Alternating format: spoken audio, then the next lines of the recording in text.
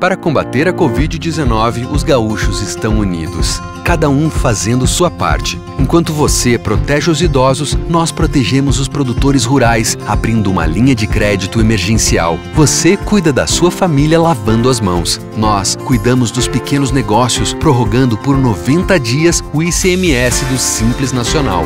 Juntos, é assim que estamos cuidando da nossa economia. Toda vida importa. Governo do Rio Grande do Sul. Novas façanhas.